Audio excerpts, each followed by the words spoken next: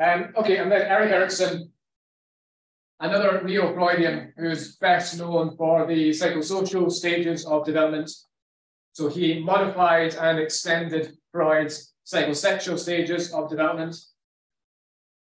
Um, Erikson said that he believed these were not only changes Freud would have approved of, but also ones he would have made himself had he lived long enough. Um, but of course, he's focusing on personality development across the lifespan, okay, which is one major way in which he differs from Freud. He's not saying that personality is developed by early middle childhood. He's saying it continues to develop as one gets older. But also, he put more focus on the ego, um, believed that people were more conscious um, than Freud did. Freud describes the relationship between the ego and the id using the analogy of a horse and a rider. And so he says the horse is the id and the the rider um, is the ego. And so a well, um, you know, a, a, a, a particular uh, rider could rein in the the horse, could rein in the id and control it. But ultimately, it's still the mercy of, of the id. It's the id who contains the true power. Uh, whereas Erikson didn't agree with this. Erikson believed that the ego has power of its own, and as one gets older, it, it grows in strength. And then he recognized the importance of culture as well. And I'll talk um, in more detail by giving some examples of what I mean by this, but he really argued that his theory could look through the lens of the context in which it's being applied, okay? Because the application of it will differ from culture to culture depending upon what's valued in that society.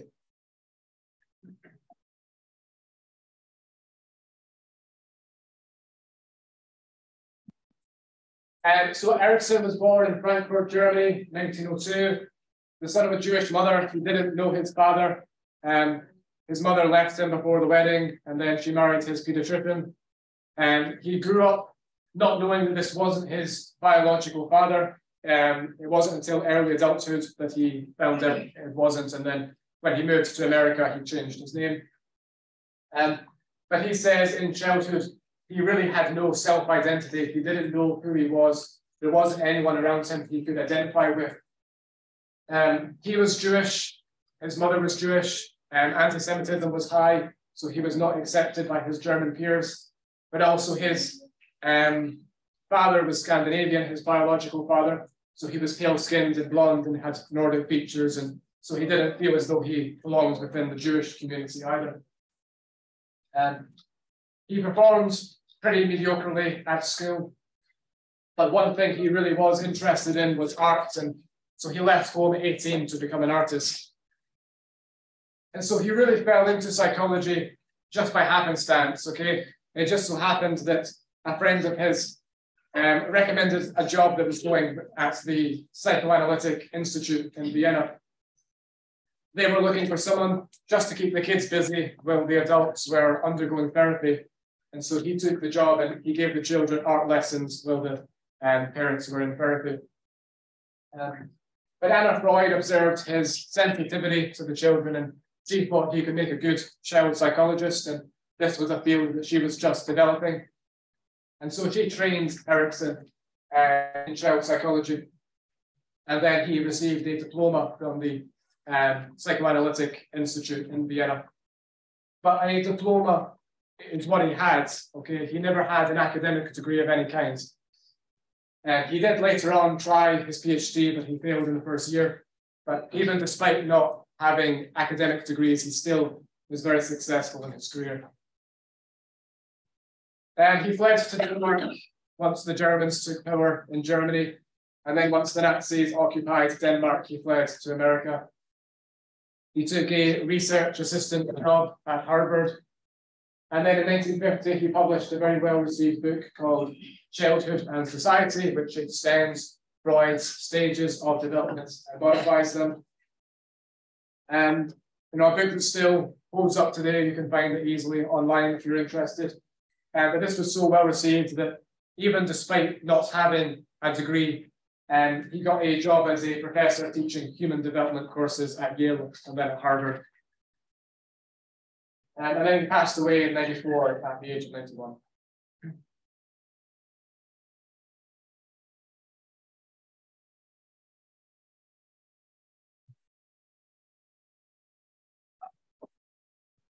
Okay, so remember in psychodynamic theory, the ego is the source of consciousness. And so for Erikson, this is where one's self identity is formed. And he believes there were three aspects to this. First of all, how do you view your physical appearance. Are there any um, physicalities that make you um, insecure? How do you think you compare to others? How do you view yourself physically? And this is uh, referred to as uh, the body ego. Uh, the ego ideal.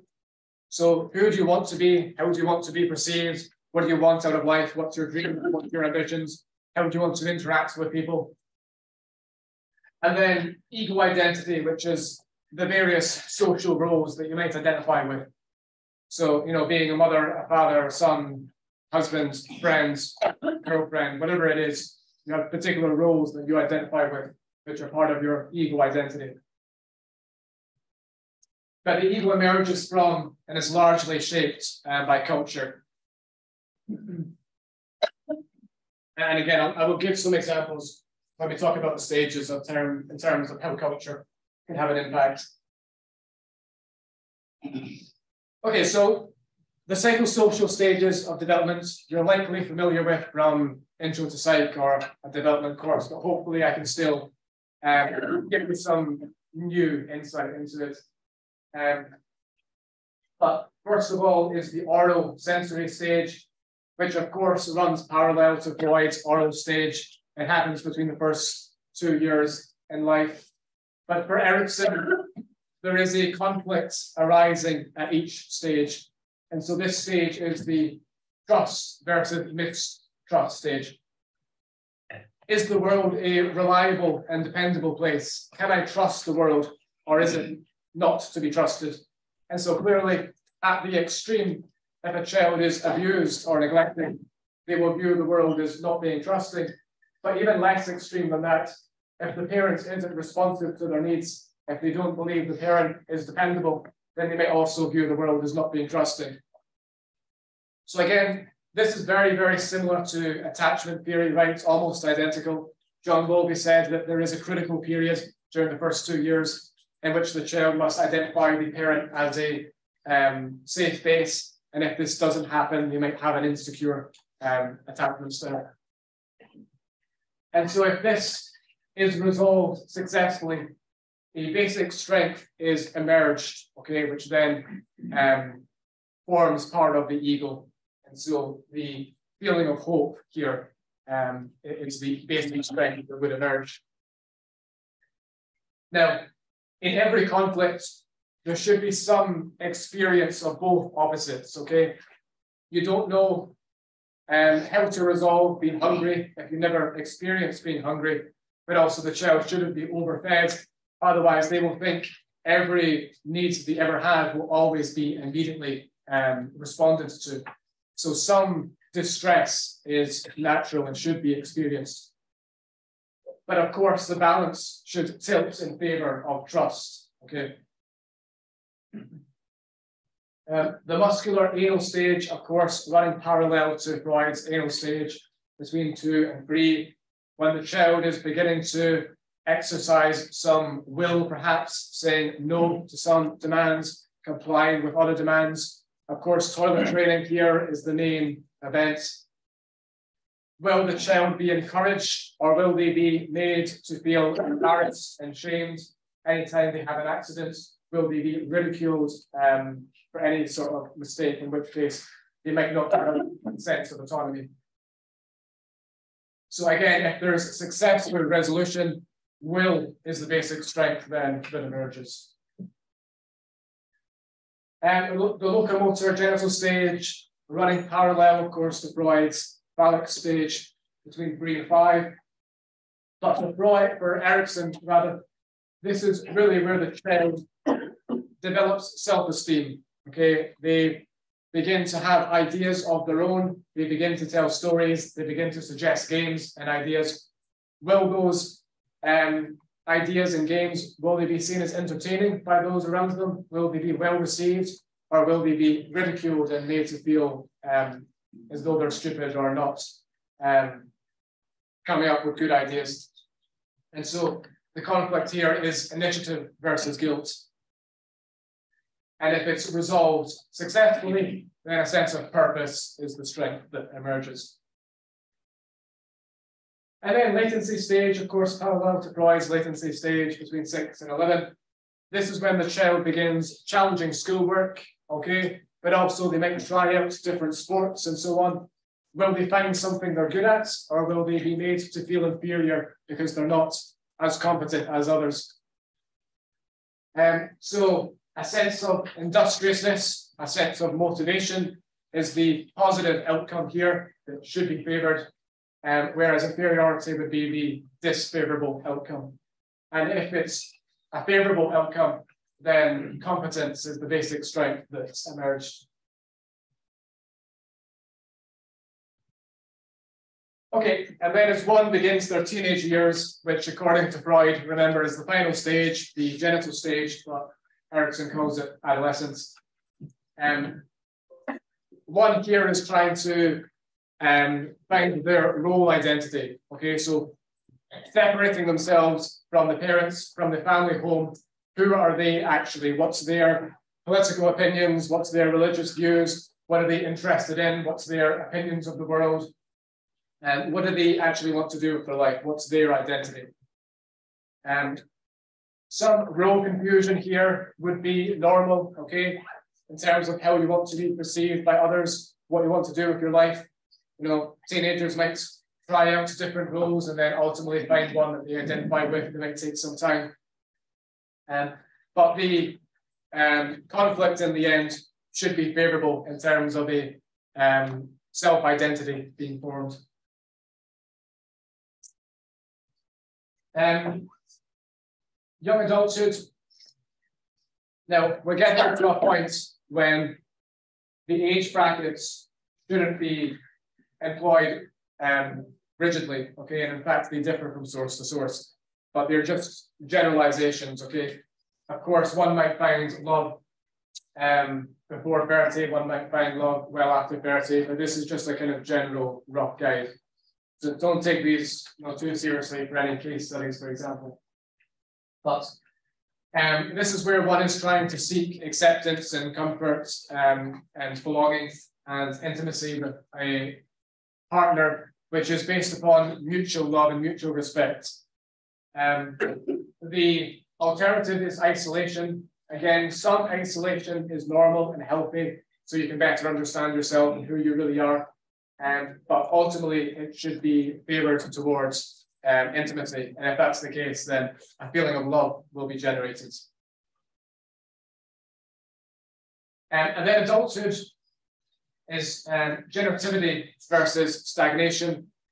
What Erikson really meant here in terms of stagnation is self-centeredness, only focusing on your needs, whereas generativity refers to a need or a desire to reproduce and then care for the offspring but also more broadly, care for society and want to leave the world a better place than how you found it.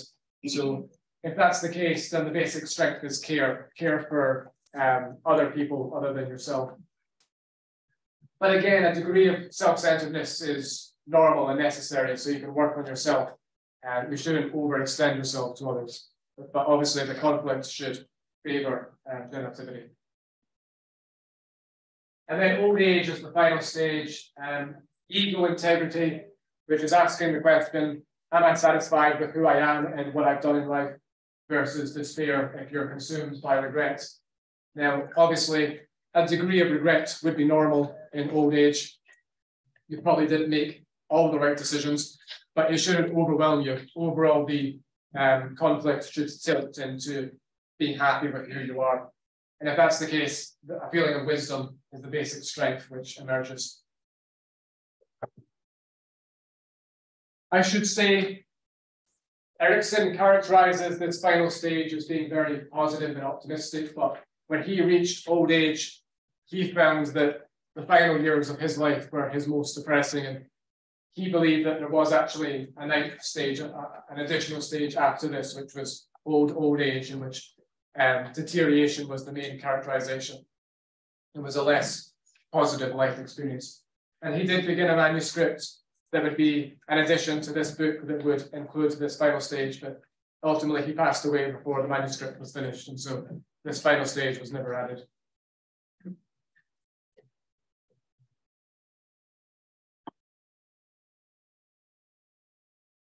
Okay, so some rules. This developmental growth follows the epigenetic principle, meaning that one component doesn't replace another.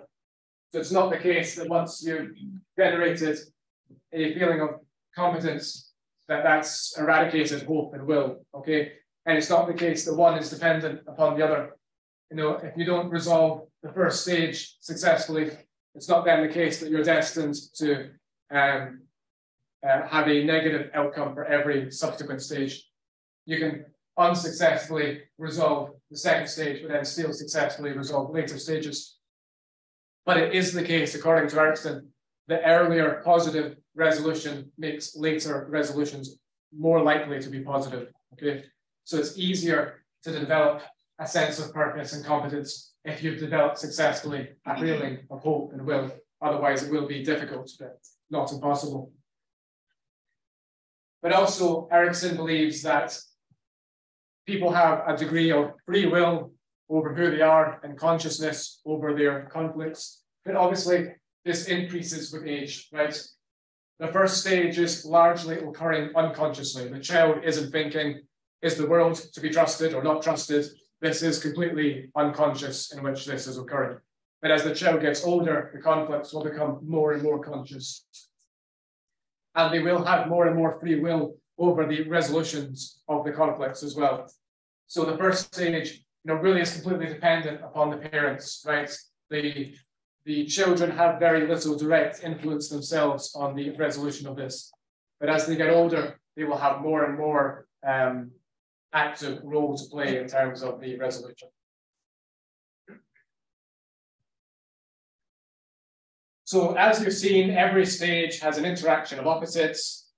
Syntonic here referring to harmonious, dystonic referring to disruptive. So obviously the syntonic one is the positive side. So identity uh, instead of confusion, generativity instead of stagnation.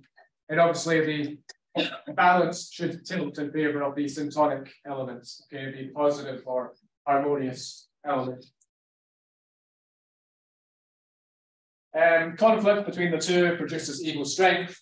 Ideally, if the conflict is not successfully resolved, then a core pathology is developed instead, and opposite of the ego strength, which will lead to mental tendencies later in life.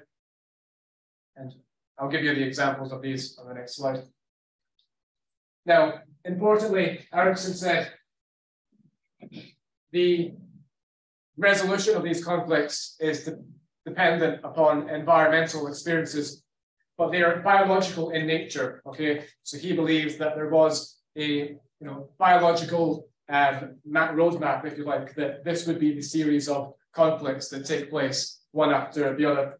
Um, and so there was a biological basis to this, but in terms of how they're actually resolved, that's due to social factors.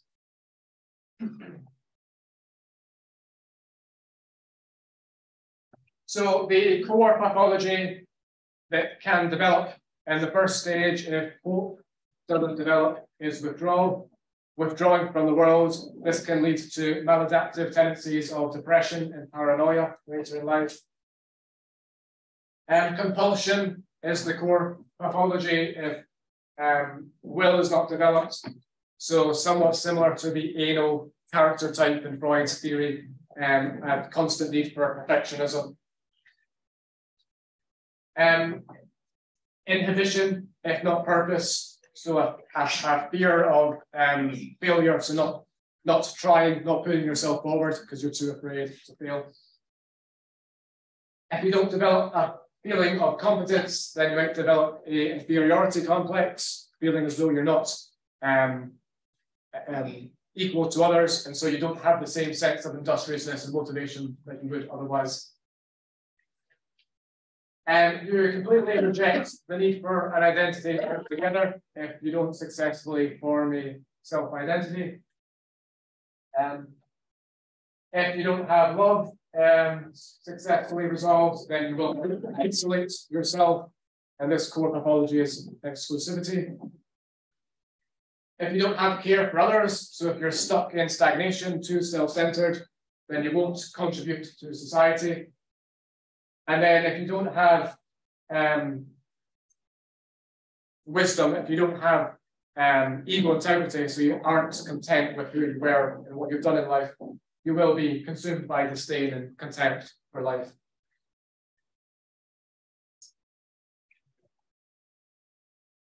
Now, these were the original eight core pathologies that Erikson developed.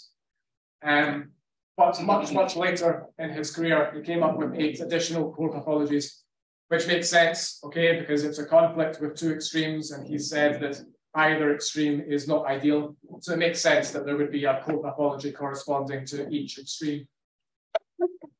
Um, so these are the additional eight that he added.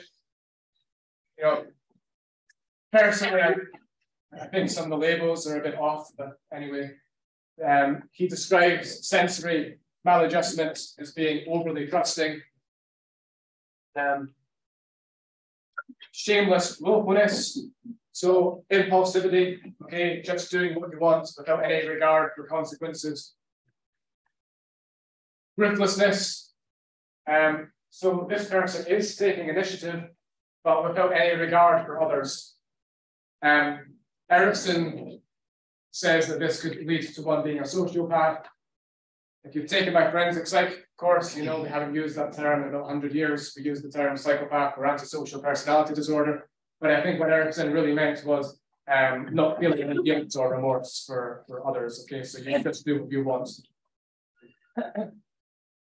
um, and the latency stage, um, a, a narrow view of one's life so Erikson gives the examples of child actors and, and child gymnasts and children who are completely dedicating all of their time to one pursuit and so in every other aspect have no life.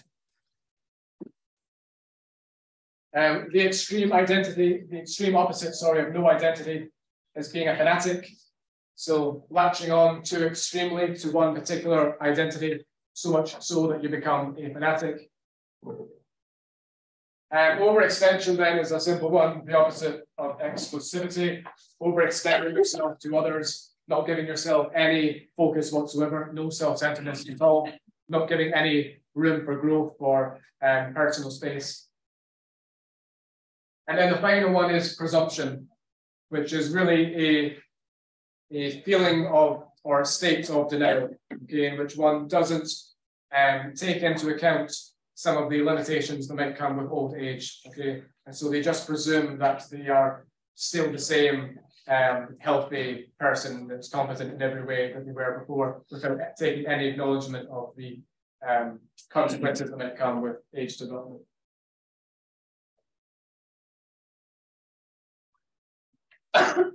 um, any questions on the, the core pathologies or the conflicts?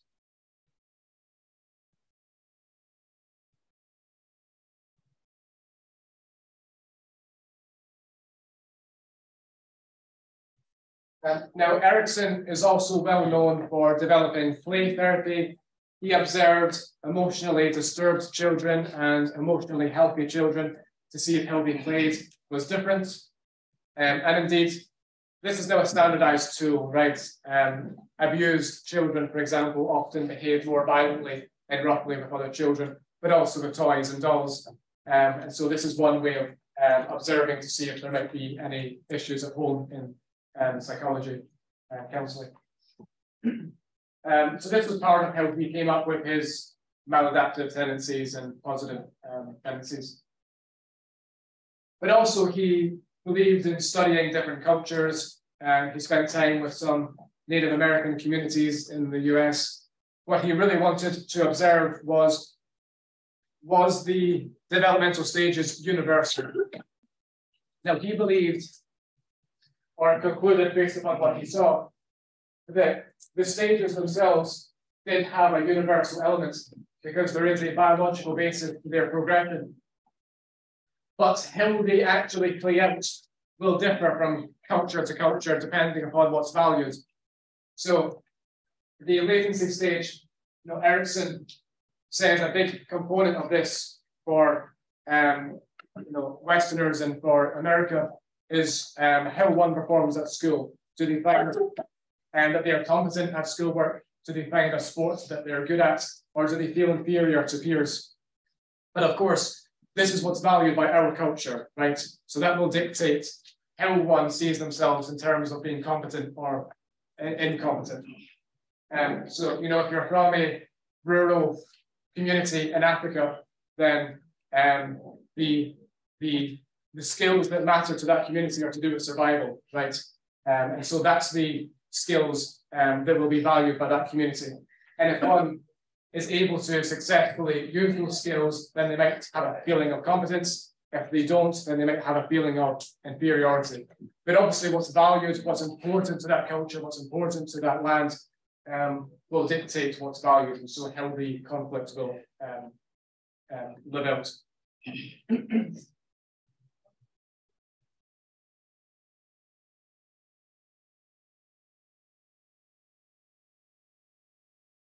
Um, Erikson also put together biographies of famous historical figures, ranging from Martin Luther to um, Adolf Hitler to Gandhi to Thomas Jefferson.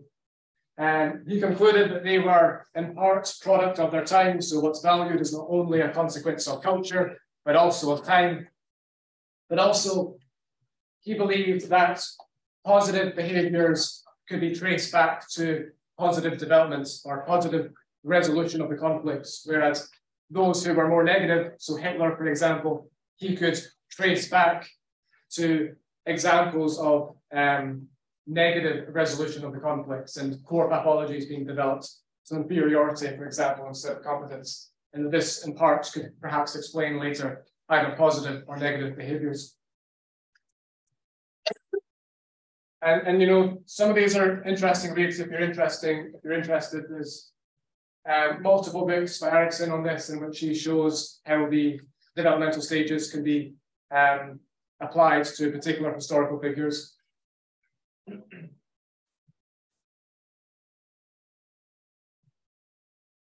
Okay, so overall, Erikson's view of people is pretty positive and optimistic. People have increasingly more and more free will as they get older over who they are are more and more conscious as they get older over the conflicts that they're experiencing.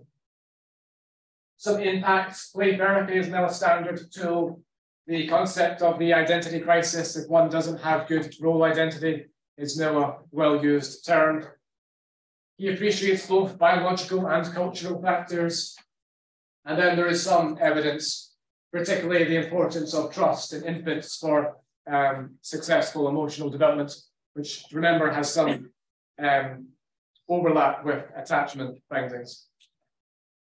The secure attachments will predict later positive um, secure relationships and more positive um, social development outcomes. Um, the textbook, if you have it, goes into quite a bit of detail over some of the um, evidence that's been gathered. But you know, some of it's not very surprising that there's benefits associated with hope and with will and the other ego strengths that he came up with. But one interesting finding by researchers is that the ego strengths are correlated with one another. So if one is higher in hope, they're more likely to have will and more likely to have competence and purpose. So that adds to the validity of Erikson's argument that um, earlier positive outcomes lead to um, later positive outcomes, or at least it's easier to generate later positive outcomes. But the the fact that they're correlated with one another would support this. he inspired the field of lifespan development. And so most psychology programs now have a lifespan development course. Um, you know, psychologists have no longer focused only on early childhood. and then recognition of historical influences. Um, some negatives, he employed the case study approach mostly, so same criticisms that we gave to Freud and Jung and Adler. And some ambiguous terms and concepts. Now, some of the ego strengths are pretty vague in, in name. Um, little precision, therefore, in terms of how these might be empirically tested. Some would argue it's more descriptive than explanatory. Um, and then also an incomplete description of maturity since he didn't get to finalizing the final stage that he had in mind. Mm-hmm.